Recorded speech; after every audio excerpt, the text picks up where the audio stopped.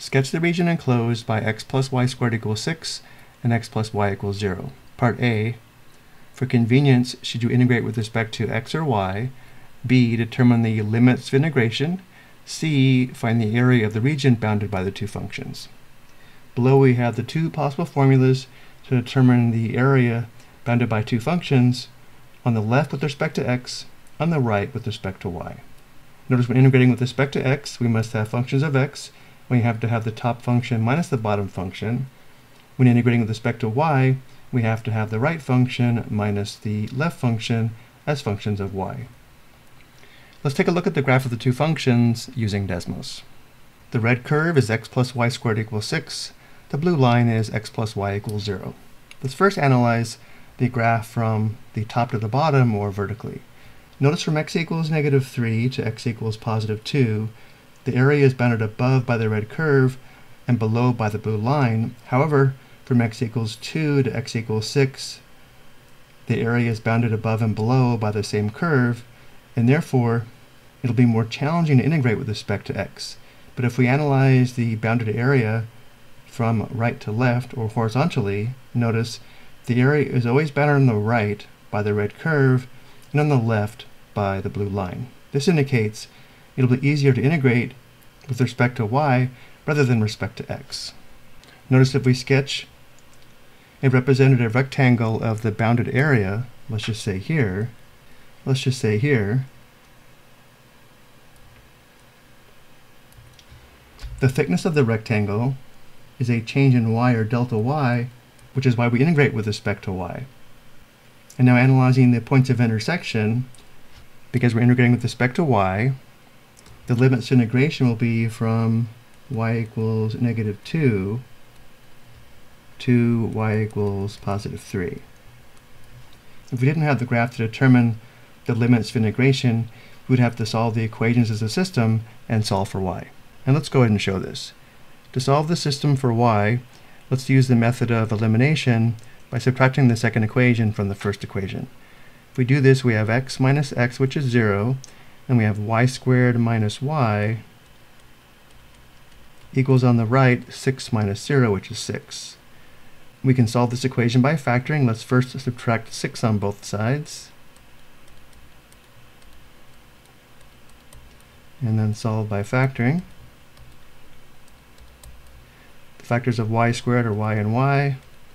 The factors of negative 6 that add to negative 1 are negative 3 and positive 2 we have y equals positive 3 or y equals negative 2, which are the limits of integration with respect to y.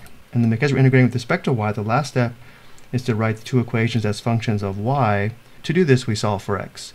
Solving the first equation for x, we have x equals 6 minus y squared, which indicates the function on the right is f of y equals 6 minus y squared. Then solving x plus y equals 0 for x, we subtract y on both sides, which gives us g of y equals negative y, which is the function of y on the left, which indicates the area bounded by the two functions is equal to the integral from negative 2 to 3 of f of y, which is the quantity 6 minus y squared, minus g of y, which is negative y, dy. So going back to our question, for part A, for convenience, we integrate with respect to y, and the limits of integration to find the bounded area with respect to y will be y values, which indicates the lower limit is y equals negative 2, the upper limit is y equals positive 3. And again, we already set up the integral on the previous slide.